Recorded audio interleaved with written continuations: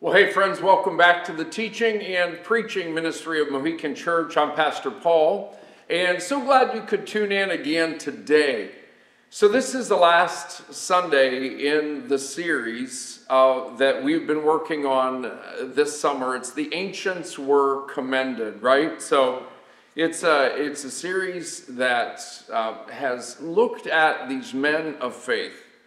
Uh, we, we read about them in Hebrews chapter 11. It says that they were commended for their faith, which goes on to say that without that faith, it's impossible to please God. And so we've been taking a look at that, um, focusing on some individual lives, as, uh, as you may recall, but, but truly the hero through this whole thing. The hero in every one of these stories has been God Almighty. He is again today. A little spoiler alert: uh, God Almighty is the spo- is the uh, the hero in this text too. As we take a look back again in the book of Daniel, we were in Daniel three last week.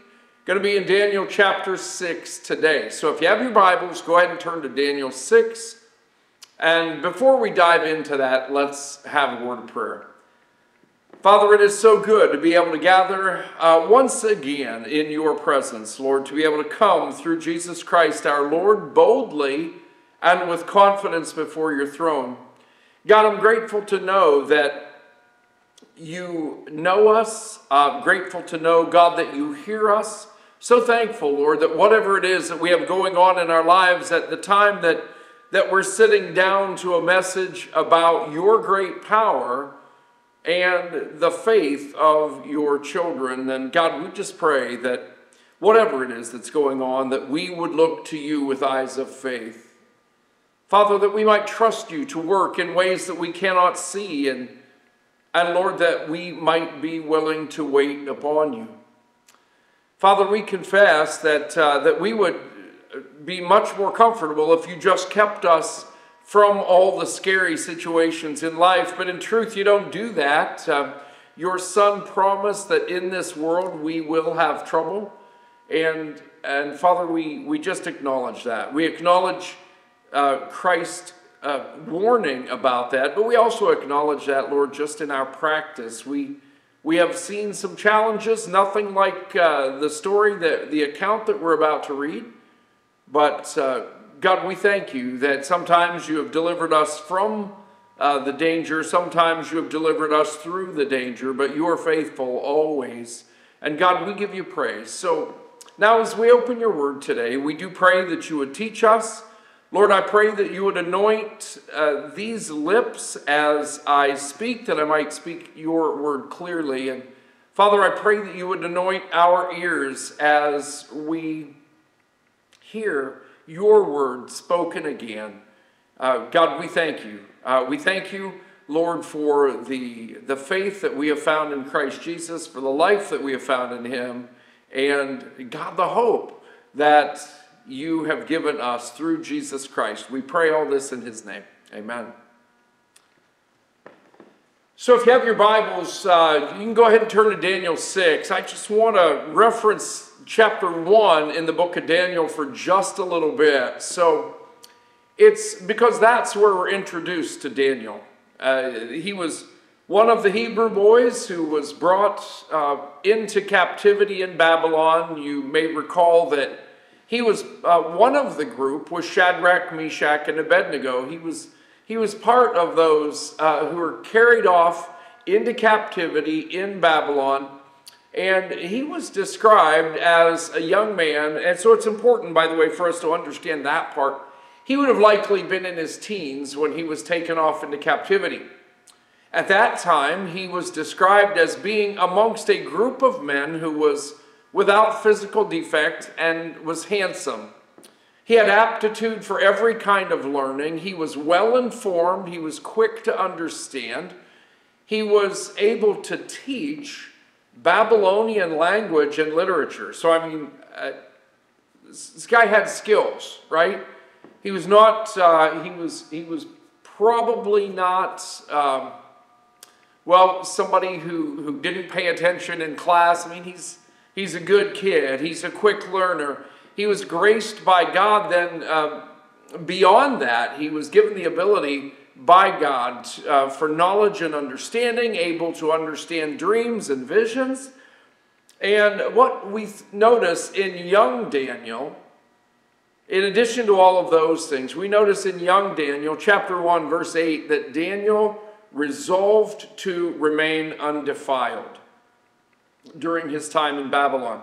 And uh, you know, I know I shared perhaps last week. I know I did in the in the live presentation of the sermon, but uh, you know, it's so important to know before you get in a situation how you're going to respond. You know, make those decisions ahead of time so that when that you get put in that spot that that you've already got your answer uh, in mind. Well, Daniel already had his answer in mind when he's, uh, I'm guessing, you know, did he formulate that uh, even as he was being carried off to Babylon? I don't know, but at some point, Daniel resolved not to be defiled uh, by, the, by the, the sin stains of Babylon, if you will. And so that's what we read about young Daniel, again, in his teens. Uh, and, you know, full of idealism.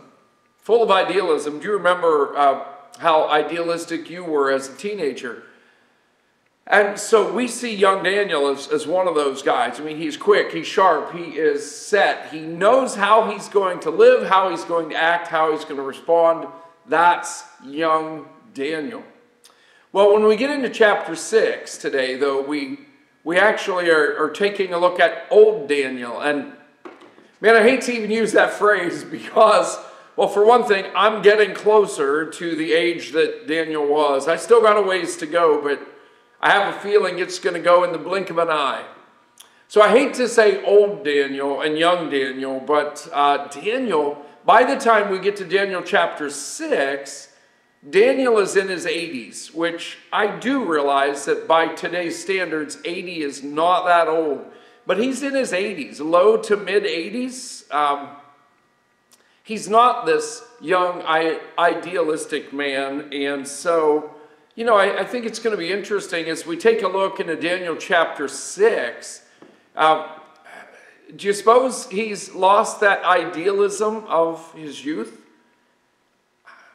Well, we're going to find out, in fact, that he didn't. You may know how this works out, you may not, but but we're going to see something in Daniel that is like, okay, so as a teen, he had resolved to remain undefiled, and he apparently, from everything we can see in the scriptures, he apparently kept that resolve throughout his life. And so now he's an old guy, and uh, and just watch how he responds to uh, to our the the account that we're looking into today. Daniel chapter 6. It pleased Darius, so Darius is king now. Uh, Daniel has, he is old enough now, he has seen kings come and go during the, the 70 years of captivity in Babylon. So, Darius is king. It pleased Darius to appoint 120 satraps to rule throughout the kingdom, with three administrators over them, one of whom was Daniel. Now the satraps were made accountable to them so that the king might not suffer loss. Now Daniel so distinguished himself amongst the administrators and the satraps by his exceptional qualities that the king planned to set him over the whole kingdom. At this, the administrators and the satraps tried to find grounds for charges against Daniel in his conduct of government affairs, but they were unable to do so. They could find no corruption in him because he was trustworthy and was neither corrupt nor negligent. And so finally these men says, we're never going to find any basis for charge against this man Daniel unless it has something to do with the law of his God. And, and so as we open this up and we get into these first few verses, uh, we're noticing that, well, as we saw last week with Shadrach, Meshach, and Abednego, as we saw last week, you know, jealousy rears its ugly head. As in the case, Shadrach, Meshach, and Abednego were some of the captives. They were being raised up by God's grace to places of authority in Babylon. again so that, you know, God had a purpose, He had a work. And uh, a purpose in them being hauled off into captivity. He had a purpose for their lives, even there in captivity. God was, uh, God was orchestrating this situation. So Shadrach, Meshach, and Abednego were raised up to, uh, to places of authority, and they were hated for it. And if you recall, the Chaldeans wanted them out of position. In fact, they wanted them dead. Well, we see the same kind of thing going on for Daniel here in chapter 6. Uh, Daniel, he's one of three administrators in Babylon. He is entrusted to keep the king from suffering loss. And so they were scrutinizing this guy. I mean, it's kind of like, well, as I'm preaching this, we're back uh, in election season, right? We're, we're back into that. And so you will see.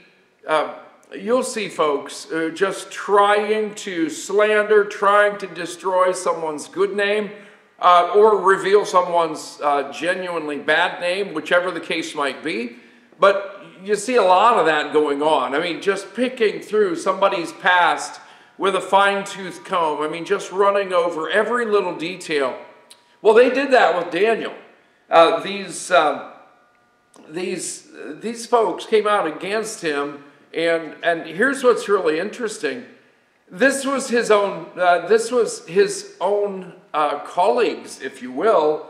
Um, we're going to see that in just a moment. But in their digging, in their searching through Daniel's life, they, they found no work related grounds for charges. So they looked at the way that he did his business. Uh, they looked at a way that he was conducting his affairs as far as under the, you know, under the king's authority and they found nothing, absolutely nothing.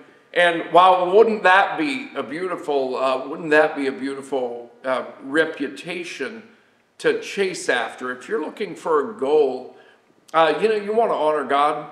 This is a really great goal. Take a look into Daniel's life, and we'll talk some more about that in a little bit. But that reputation, you know, the book of Proverbs says that a good name is to be treasured above great riches. And uh, which is probably why when I was a kid, when, when I was a kid, my dad always used to tell us boys, apparently when we'd get a little sideways in our thinking, he would say to us, he says, now boys, I worked really hard for the Bartholomew name in this community. Don't you screw it up. Pretty sure that he was going back to the Proverbs and the reminder uh, that he had experienced the truth that a good name truly is to be treasured above great riches.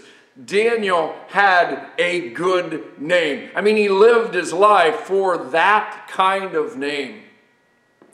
No work related grounds for any charges against him. And, and in fact, uh, Daniel was such a man of integrity. Again, integrity is soundness of character through and through, right? So wherever you slice Daniel, Daniel was coming up legit. He was solid. He was authentic. He was a man of character through and through. Uh, there were, they found him neither corrupt nor negligent. And I, you know, you could say, well, I mean, that's just good. He's he's a God follower. He he made this resolve when he was a young man, and here he is in his 80s, and and he is still seeking to honor God with his life. Yeah, but how beautiful is it? So, so of course, there's no corruption because he wants to honor the Lord.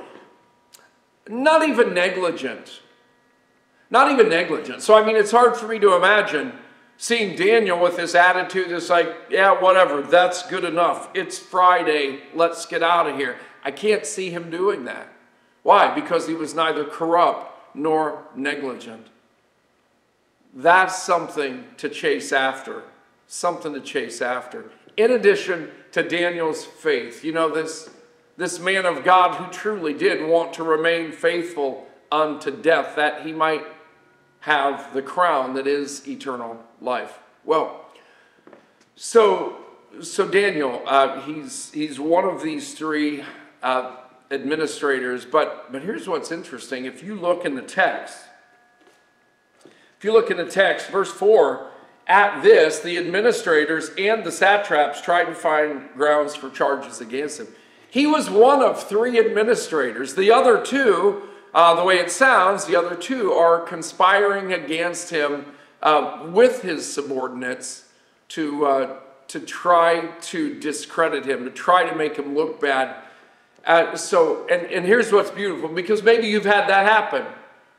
Maybe you've lived, uh, and perhaps you're in, or maybe you've lived through a situation where, where your own, your equals, or your subordinates were trying to make you look bad. And we have no reason to believe, church, that Daniel stooped to their level. We have no reason to believe that Daniel just got down there in the mud with them. He just kept being faithfully God's servant. He just kept his eyes on God, kept doing his thing, knowing that God was his shield, God was his defender, God was his deliverer. The, the scriptures tell us um, that the name of the Lord is a strong tower to which the righteous run and they're saved. And Daniel understood. He's like, no, you know what? My trust is in the name of the Lord. So even when his equals and his subordinates teamed up together to make him look bad, he's like, I'm, I'm, not, I'm not stupid to that. So they ran before the king in verses 6 through 9. The administrators and the satraps, they went as a group to the king and they said, King Darius, live forever. The royal administrators, the prefects, the satraps, advisors, and governors have all agreed. Well, I don't think they all agreed, by the way, because Daniel wouldn't have agreed to this, and he was a royal administrator. Well, anyway, uh, they've all agreed that the king should issue an edict and enforce the decree that anyone who prays to any god or man during the next 30 days, except to you, O king, shall be thrown into the lion's den. Now, O king, issue the decree, put it in writing so that it cannot be altered, in accordance with the laws of the Medes and the Persians, which cannot be repealed. And, and so King Darius put the decree in writing. And so these other administrators and the satraps, they have laid this trap for Daniel. Take a look at Daniel's response, verses 10 through 12. When Daniel had learned that the decree had been published, he went home to his upstairs room where the windows opened up toward Jerusalem, and three times a day he got down on his knees and he prayed, giving thanks to his God just as he had done before. Then these men went as a group and they found Daniel praying and asking God for help. And so they went to the king and they spoke to him about his royal decree. Did you not publish a decree that anyone, or that during the next 30 days, anyone who prays to any god or man except to you, O king, would be thrown into the lion's den? And the king answered, The decree stands in accordance with the laws of the Medes and Persians, which cannot be repealed. Note Daniel's steadfastness, and I so, excuse me, I so love his steadfastness. His immediate response. You know, uh, because this is where, again, we talk about integrity, we talk about character. This, there was no wishy-washy here. There was no, well, I'm gonna, I'm gonna stand up for God and I'm gonna look really strong and sound really strong, but the moment that things get hard, I'm, I'm caving. The moment things get difficult, I'm gonna waffle. The moment I feel threatened, then I, I just, you know, then I'm just gonna go underground, right? Daniel didn't do that. His first response was not to organize a march nor to, to put together a petition. Uh, he, he wasn't whining on social media. He hadn't called the news stations and said, hey, listen, this is unfair. We're being mistreated. He simply went back to his room and prayed toward Jerusalem. As we see King Solomon, as we see David in the Psalms, as we see King Solomon uh, when he was at the dedication of the temple, 1 Kings chapter 8, and he is, he is speaking about uh, oft times throughout this prayer that when they turn to you, the city that has been established for the glory of your name, when they pray toward Jerusalem. Well, anyhow, uh, Daniel simply went back to his upstairs room where the windows opened toward Jerusalem three times a day, got on his knees and prayed, giving thanks to God just as he had done before. this, this steadfastness. See, to Daniel, to Daniel, you know, who, who went back when he heard about this decree, went back to his up to that upper room, if you will, with the windows open toward Jerusalem from his usual place three times a day. Daniel prayed. He prayed. It, that time of communion with the Father was, was so rich and so ingrained into him. And I will tell you that you, and you can see this demonstrated by the faith that Daniel exhibited and by the life that he lived. This was not a matter of, now I lay me down to sleep uh, kind of thing. Or, you know, his prayer, it wasn't some, some you know, three line prayer that he had memorized as a two year old. This was his practice going to prayer regular basis, he understood that apart from God he could do nothing. He understood that, that indeed when the storms come, you go to that rock. You go to that rock. And that's exactly what he did. This wasn't his first time there. Uh, certainly, he went back as was his usual custom to his usual pray, place cried out to God for help, but also uh, with prayers of thanksgiving. Prayers of thanksgiving. That the God who had sustained him thus far, he was quite confident that the God that God was going to sustain him still. Now, when we see Daniel going back up to this place of prayer, I, I do think that this is of note. I um, one of the commentaries, and I honestly don't remember which one it was. One of the commentaries mentioned, though, that this would not, uh, Daniel's prayer, uh, it appears to be out of a pure heart. I mean, his going back in his regular uh, place, at his regular time, as he had always done. That, that prayer time, it appears to be out of a pure heart. He he was praying out of obedience to God. He was not praying out of defiance to the king.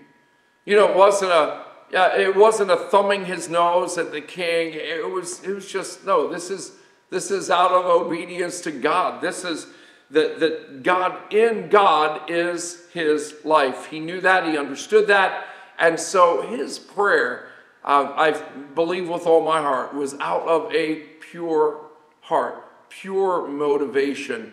Uh, this wasn't, again, it wasn't spite. This was his usual custom. What do you do when you're in trouble, Daniel? I pray. What do you do when things are going great, Daniel? I pray. What do you do when, uh, you know, just life is kind of uh, vanilla? What do you do? I pray. That's what he did. That's what he did because he understood that his lifeline was this privilege that we have in prayer. And I and I have to wonder, do I do I have that same sincere desire and longing and passion to be alone with the Father? I'm, I'm, I'm challenged by Daniel here. I just am. I'm convicted when I read about his commitment to prayer. Especially when in a time like this, he's like, well, you know what? I, I do know that the king gave this decree, but I also know that I must obey God rather than man. That, that, that when the commands of man are in direct violation to the commands of God, then I must obey God rather than men. We saw Peter and John doing that in Acts chapter 5 as well, and we, and we see that here in Daniel. So again, it wasn't spite. It wasn't, oh yeah, what are you going to do about it? It was just simply a matter of, well, this is what I'm going to do. Much like Shadrach, Meshach, and Abednego, they had heard the decree uh, in, what, that we read about in Daniel chapter 3, and they're like, well, uh, okay, but, but we have a higher authority than you, and your commands come clearly into conflict with the higher authority who is the Almighty God. We have to obey him first. So, anyway, so we see that. Look down in verses 13 then. And so they go back and, and he goes back to pray. The, the, the, his critics go back to the king and, hey, didn't you say? Well, yeah. So look verse 13. They said to the king, well, Daniel one of the exiles from Judah, he pays no attention to you, O king, or to the decree that you put in writing, and he is still praying three times a day.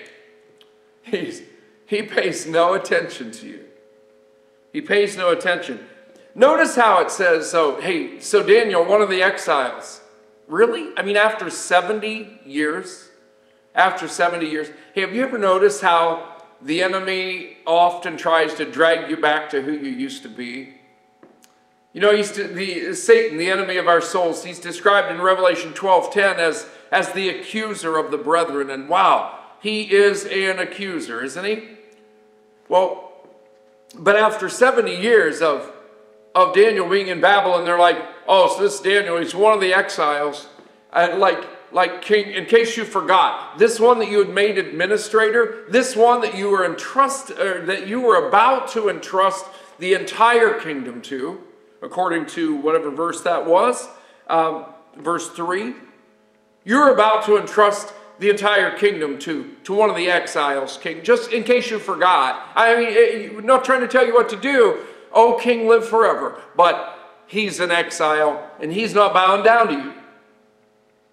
He, you know, he refuses to listen to you, to pray to you. He's still praying three times a day. King, just, just want to point that out. And so chapter 6 or verse 16. I'm sorry, verse 14. So the king heard this and he was greatly distressed and he was determined to rescue Daniel. Interesting, isn't it?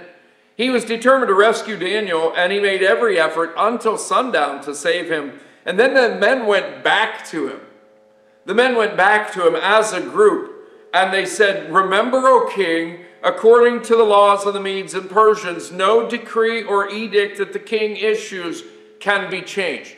In other words, king, ain't no way out of this. So they've gone back. Imagine their gall. Imagine their nerve. They're going back to the king. First, you know, if it wasn't brave enough to, the, to say to the king, hey, this Daniel, he's one of the exiles.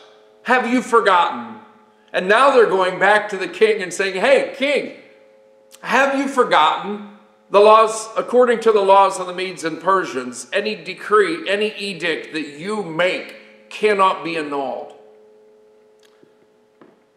And, and so the king gave the order, verse 16, and they brought Daniel and they threw him into the lion's den. And the king said to Daniel, May your God, whom you serve continually, rescue you.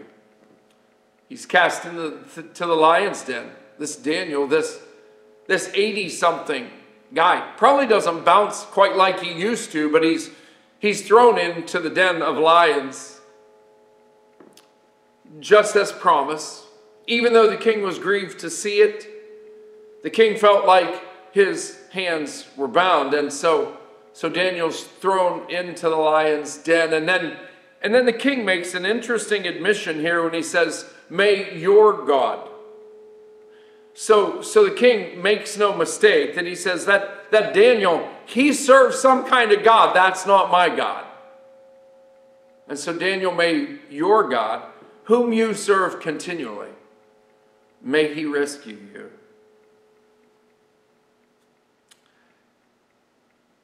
Whom you serve continually.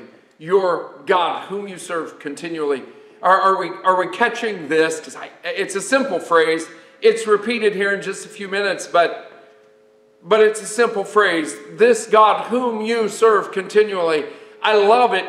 This is key to everything that we read about Daniel. It's key to his, his resolve that we saw in chapter 1. It's key to the life that he is living right now. This is key to the fact that he has uh, that he has lived as a man of integrity from his teen years when we were first introduced to him to well into his 80s. This is key. He served God continually. It wasn't, his relationship with God wasn't something like sometimes ours might be.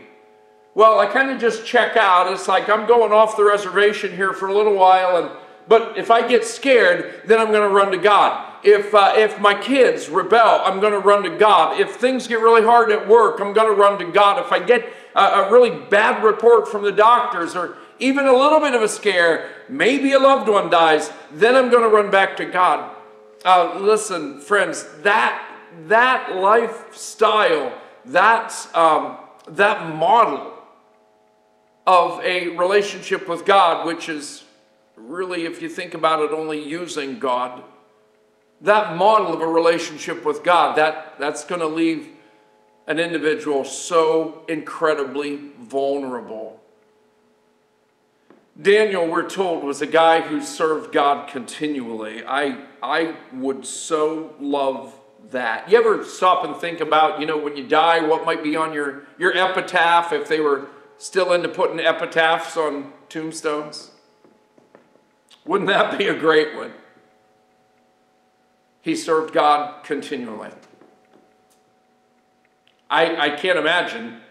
I can't imagine anything that I'd rather have uh, written up or said about me when I'm gone. I mean, if it could be said authentically, if it could be said in truth. We, we have it here in regards to Daniel. He served God continually. Everything else that we read about Daniel, his character, his nature, the, you know, the kind of person he was, the life that he lives, his steadfastness, all came back to that. He served God continually. And, and I mean, and even the prayer life was part of that. So Daniel is thrown into the lion's den. May your God be able to rescue you. Verse 17 A stone was brought and placed over the mouth of the den, and the king sealed it with his own signet ring and with the rings of his nobles, so that Daniel's situation might not be changed. Well, then the king returned to his palace and spent the night without eating and without any entertainment being brought to him, and he could not sleep. Which really supports the idea that he was looking for a way to rescue Daniel, and which says something about, again, the kind of man that Daniel was and the way that God had shown Daniel favor in the king's eyes. Well, anyway, king's not sleeping, verses 19 and 20.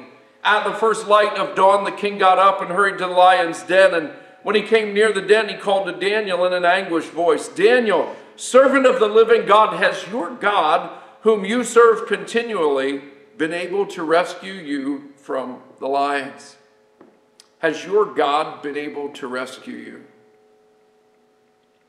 I tell you what, uh, what I what I want to encourage you to do, just grab a pen right now, just jot down Isaiah 40. Because I I want you to be reminded about the God whom we serve. I want you to be reminded about, about the God who loves, who watches over, who does not neglect, uh, does not, uh, uh, uh what is the word? Um, my, our cause has not been disregarded by the Lord. Isaiah 40. in fact, it, then it goes on to speak about, you know, characteristic of and promise to the lives of those who put their hope in him.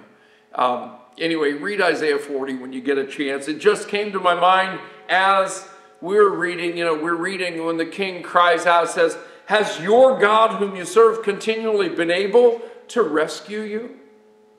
Oh, he is a great God. If you were to look into Psalm 145, and there are other places where we see the power of God, the power of the one who stretches out the heavens like a tent is the God whom we serve. And he is able. He is able. Verses 21 uh, through 23 Daniel answered, O king, live forever. My God sent his angel.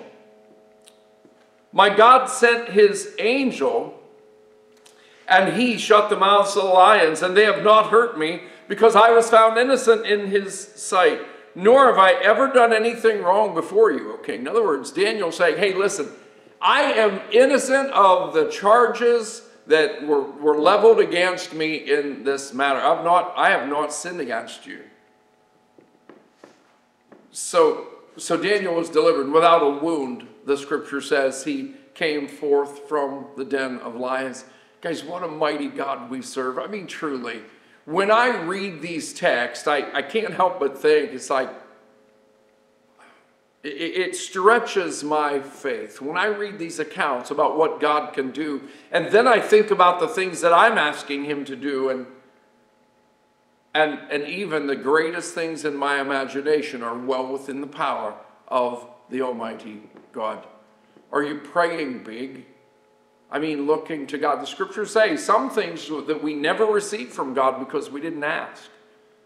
I want to ask. I want to ask. In His wisdom, He will determine which ones are going to be good for me and bring glory to Him. But I don't want to miss out on something because I didn't ask. God delivered Daniel from the lion's den without a wound. He says it was the, you know, God sent his angel. Was that the same one that appeared to Shadrach, Meshach, and Abednego? Was that also uh, an appearance of the pre incarnate Christ? I mean, we don't know. We don't know, very possibly. But God sent his angel and delivered. Verse 24, at the king's command, then, oh, I'm sorry. Verse 23, the king was overjoyed. He gave orders for Daniel to be lifted up out of the den. And when Daniel was lifted from the den, no wound was found on him because he had trusted in his God. It's important to note, by the way, that his salvation, if you will, his rescue, his deliverance, had everything to do with his faith in a mighty God, had nothing to do with Daniel's strength, with his toughness, with his, you know, he didn't have to like dig deep and whatever. How we think we're going to get ourselves out of messes, he trusted in God, and God delivered him. Verse 24 So at the king's command, the men who had falsely accused Daniel were brought in, and they were thrown into the lion's den along with their wives and children. By the way, that's pretty typical Persian judgment. It's brutal, it's over the top. That's the Persian people, right? And, and so it's not uncommon. The wives and children, they go too, thrown into the lion's den.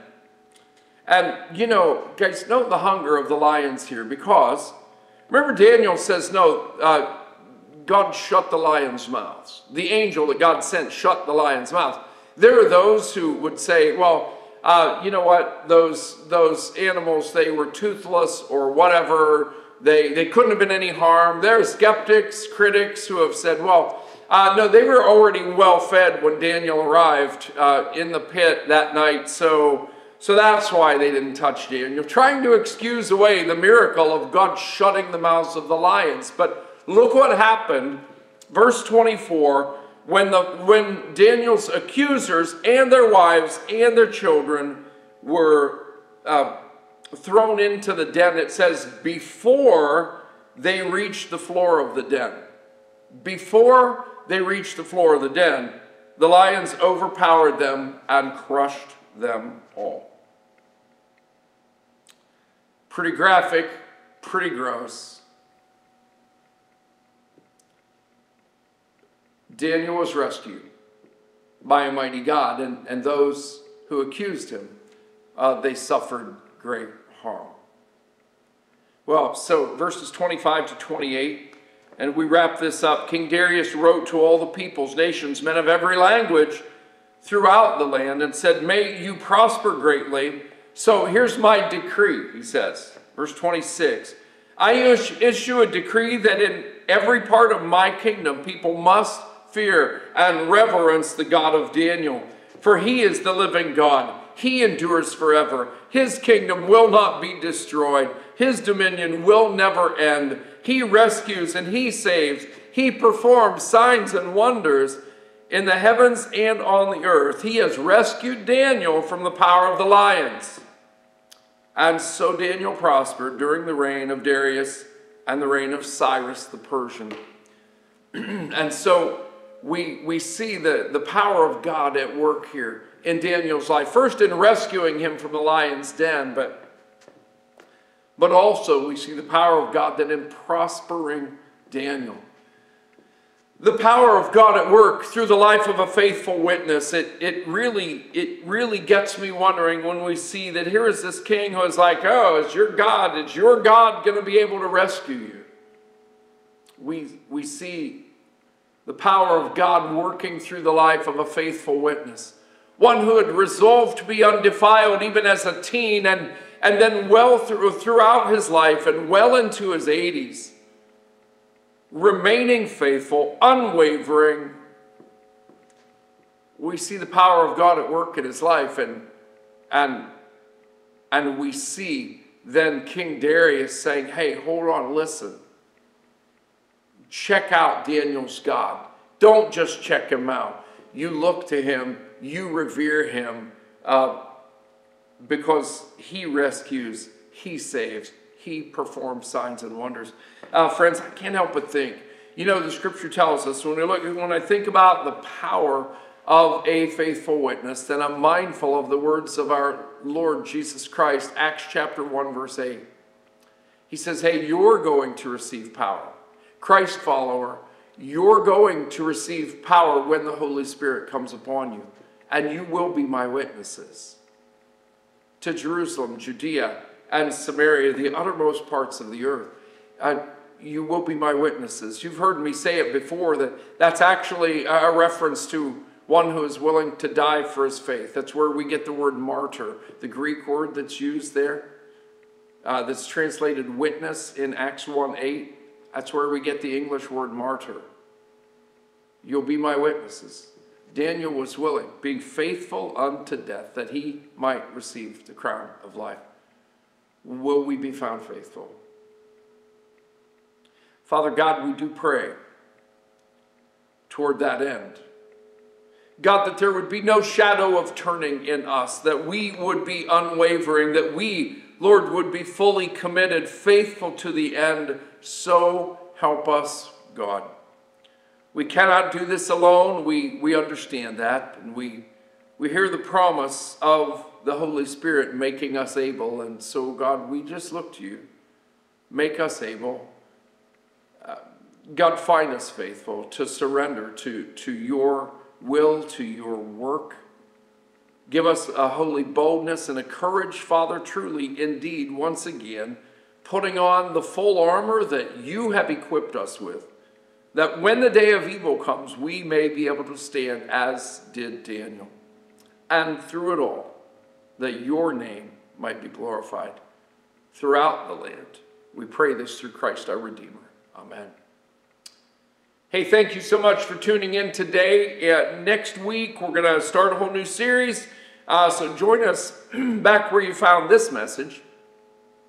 And, uh, and, and we're going to be we're going to be embarking in another. It's, it's all part of discipleship. It's all part of walking then in the way of Christ. So look forward to catching you again. Love you like crazy. Thank you so much for tuning in today.